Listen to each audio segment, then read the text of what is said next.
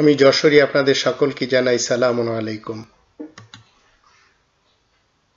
Albert আইনস্টাইনের দৃষ্টিতে ধর্ম এবং বিজ্ঞান, যদি আমরা একটু কোরআনের বিভিন্ন আয়াত নিয়ে গবেষণা করি, যেমন দুই নম্বর সুরা আল বাকারার একশো চৌষট্টি নম্বর আয়াত, আবার একশো বারো নম্বর সুরা আল ইখলাস বিশেষ করে, কুল হু আল্লাহ হাত তুমি বলে দাও, আল্লাহ তিনি একক।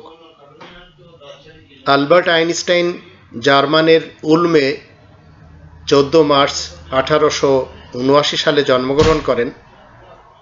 আমি যশোরী অবশ্য তার প্রায় কাছাকাছি একটি শহরে থাকি।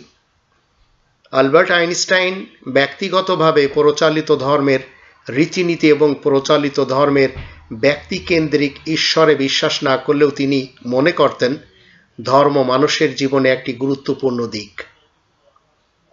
এই জন্য তিনি তার রিলিজন অ্যান্ড সায়েন্স বা ধর্ম ও বিজ্ঞান নামক গ্রন্থে বারবার ধর্মের গুরুত্বের কথা তুলে ধরেছেন। তিনি ধর্ম ও বিজ্ঞানের গুরুত্ব সমানভাবে উপলব্ধি করেছিলেন। এ সম্পর্কে তিনি বলেন, ধর্ম ছাড়া বিজ্ঞান পঙ্গু, বিজ্ঞান ছাড়া ধর্ম অন্ধ। তিনি আরও বলেন মানব জাতির জন্য বিজ্ঞান ও ধর্ম দুটোই দরকার।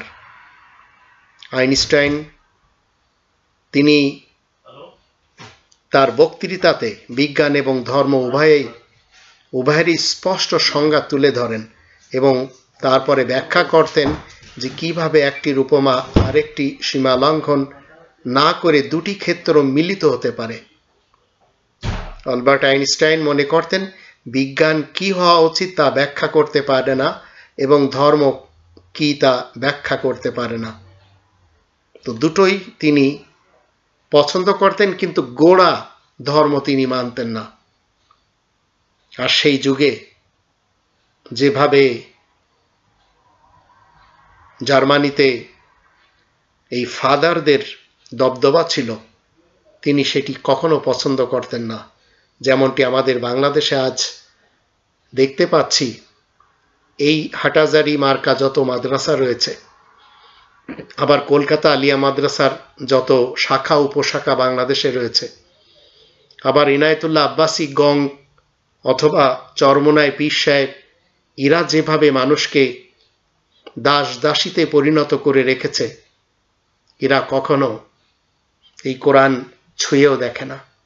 আর যদি দেখে, আরবিতে পড়ে।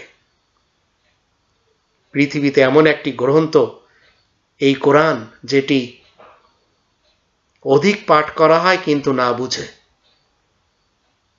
তো আসুন আমরা সবাই আলবার্ট আইনস্টাইনের মতো আল্লাহ বিশ্বাসী হই, বিজ্ঞান বিশ্বাসী হই, কিন্তু এই গোড়া ধার্মিক যারা রয়েছে, এই শিয়া মুসলমান, সুন্নি মুসলমান, সালাফি মুসলমানদের যারা রাহবার রয়েছে, যারা কোরআন বিরোধী বিভিন্ন উক্তির মাধ্যম দিয়ে মানুষকে বশ করে এবং মানুষকে কোরআনের পথে আসতে দেয় না। এদেরকে একপাশে রেখে উনিশ নম্বর সুরা মারিয়ামের সাতানব্বই নম্বর আয়াত মতে এই কোরআন স্টাডি করে চলি মাতৃভাষায়।